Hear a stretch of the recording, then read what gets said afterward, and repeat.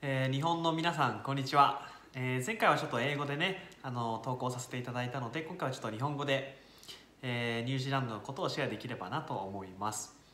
で前回の動画ではあの僕が働いていると、まあ、住んでいる、えホテルに関してご紹介させていただいたんですが今日は僕ちょっとあの仕事が休みなので、まあ、休みの日どんな感じでニュージーランドで生活してるのかっていうのを少しご紹介できればなと思います。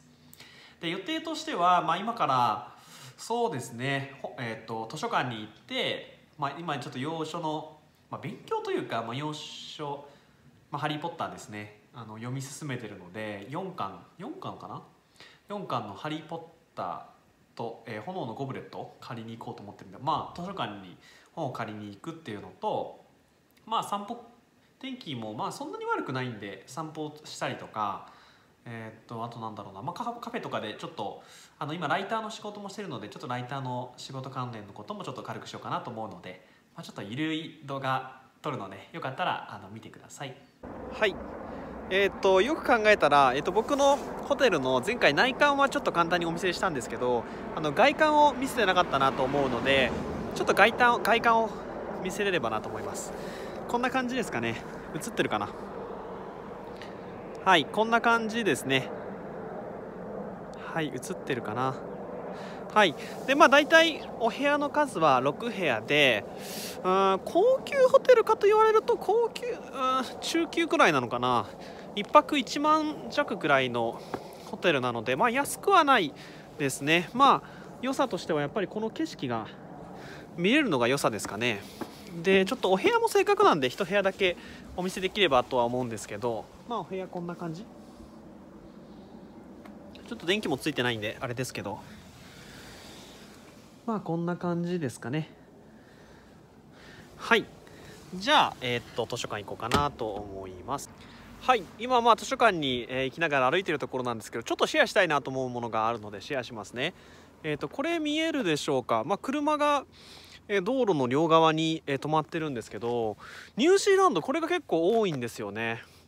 例えば日本とかって敷地内とかにあの止めてることが多いのであのなんていうんなんて言うんだろうな。ふた、まあ、2つあるんですけど1つは運転めっちゃ怖い時がある。両サイドに車が止まってて この先2台通るみたいな時とかあって結構それはちょっとやっぱ日本の良さなのかなってこっちに来て1つ思ったのが1点と日本よりもえーっと何て言ったらいいのかな日本よりも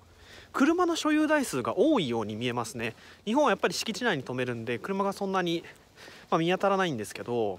ニュージーランドの場合は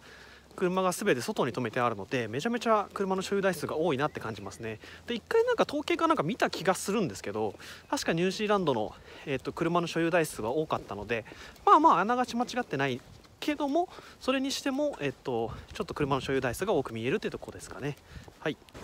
はい、で今ちょっと,、えー、と図書館に到着したんですけど、まあ、ちょっと図書館に入る前に、まあ、日本人の方に知っておいてほしいなと思うことがあるので少しシェアさせていただければなと思います。えっとまあ、本を読んでほしい、まあ、僕もなんですけどやっぱり本を読むのってすごい大切だなと思ってこれは海外だからとかじゃなくてやっぱり本を読むことによって考える力っていうのがすごく養えるかなと思うのでそうですね。せっかくこの動画見ていただいた方はちょっと本を手に取っていただければなすごい嬉しいですね。僕も1個あの出会った格言格言というか、まあ、言葉ですごい心に刺さってるのがもし例えばあなたが本を好きでないのであればそれはただあの自分の大好きな本自分の関心のある本に出会ってないだけですみたいなあの言葉を聞いた時にあやっぱそうなのかなと思っていて本が好きじゃないって方もたくさんいると思っていてそれも全然悪いことではないと思うんですけどでもそれはただ自分が関心がある本に人生でまだ出会ってないだけかもしれないのでぜひ一冊手に取っていただければなと思います。じゃあ行きましょう。はい、えー入り口はこんな感じですね。クイーンズタウンライブラリークイーンズタウンライブラリーですね。はい。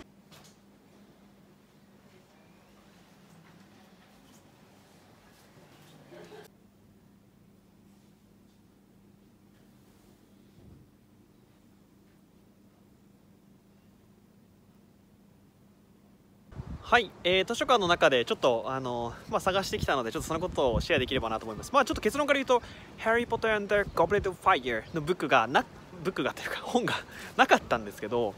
そのない理由がちょっと面白いなと思ったのでそれもシェアできればなと思っていて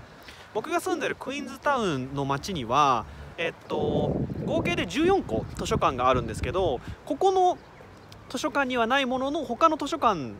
まあ、フランクトンっていうところで あるみたいなのでで僕結構そのホテルの仕事をしていて他のホテルとかに行くこともあるのでそこにね車で行く時に借りようかなと思ったので、まあ、ちょっと今日は借りるのを、えー、っとまあ、やめておきました。ま大した話じゃないんですけどね、えー、そういう仕組みがあるのか。なるほどなるほど。まあでも日本でもあるでしょうね多分そういうの。いやわからないけど。だからまあ要するにあれなんですよ。どこの図書館で本を返してもいいんですよ。そういう仕組み日本あるのかな？僕結構図書館日本でも行ったりするんですけど僕が行ったところではその図書館に返せっていうとこが多かったですもんね。うん。まあなんかそういう仕組みもあるんだなと思って勉強になりました。ちなみに結構綺麗な景色がここにもあって。まあ川が図書館の近くに流れててここはなんかグラウンドみたいな感じですかね。うん。まあ、こんな感じでちょっとゆるいことをまた上げていこうかなと思います。さあ今からどうしようかな。まあでもなんか散歩でもしながら、えー、カフェの方でも向かっていこうかなと思います。はいでは僕のお気に入りのカフェを少し紹介できればなと思います、えー、今いるのが、えー、パタゴニアという、えーと、カフェですね。結構ニュージーランド最初来た時は最初の1ヶ月間くらいは 結構このカフェでこもってましたね。こもって作業してましたね。あの 結構 w i f i とかも良かったりあのメニューも豊富なので、えー、お気に入りのカフェですね。でこの横には結構こんな感じであの、ね、湖が広がっていてすごい景色も綺麗なところなのでいいですね。じゃあちょっと中一緒に入ってみましょうかね。よいしょと。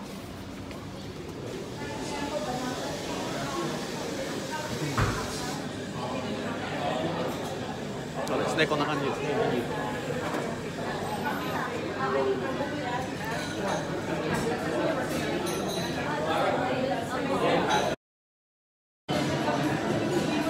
はいでは、えー、カフェでですね、えーと、コーヒーももらって w i f i もアクセスできて今からちょっと作業をしようかなと思うので、えー、今日の動画はこの辺りで、えー、終了させていただければと思います、え見ていただいてありがとうございました。